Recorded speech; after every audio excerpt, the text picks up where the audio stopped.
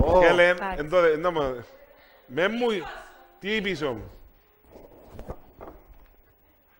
Καλά. να- Φέτε μου όλα το φαΐ μου που λες πίσω μου τώρα. Πού είναι το φαΐ μου; Άντε το. Όπα. Ω. Who are you, my friend? Ε, Σήμερα μα- η παραγωγή σου Περίμενε, έφερε. περίμενε, φίλε, έτσι όπως μου το είπες το «Γεια σου, Λούι». Ευθύμισες μου πόντο πρωινάδικο και λέει με Αριστοτέλους και το πάνελ «Γεια σου, Χριστιανά».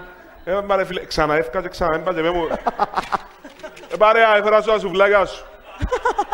Περίμενε ένα λεπτό να ξαγάμουμε, εντάξει, είσαι έτοιμος; Μα πού είναι το άλλο το φαΐ μου; Φέτε μου το φαΐ μου, σιωρ. Πού πίσω μου; Ε, παρέα, έφερα τα σουβλάκια. Μπρα- μπρα- γαμώ το. Είσαι τέλειο. Γαμώ το. Ε, Πού είναι το καρί. Το καρί. Καλός. Κα- ε, μα- Σήμερα η παραγωγή παράγγειλε το φαΐ σου online από το foodie.com.cy. Περίμενε, ρε φίλε, το footy.com.cy Εν είσαστε σουβλάκια.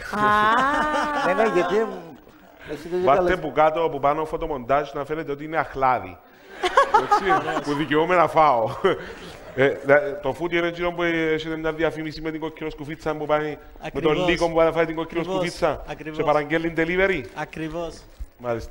Φίλε μου, και να δεις, ευτυχώς που δεν έκαμε τη χιονάτη που έκαμε το μήλο. Φανταστήκες.